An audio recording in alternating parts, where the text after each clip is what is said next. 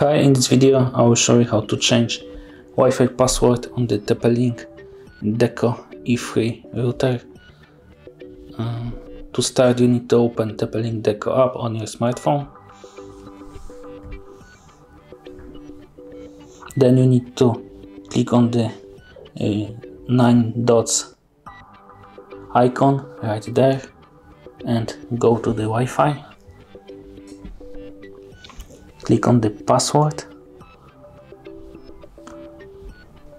And there you can change the password.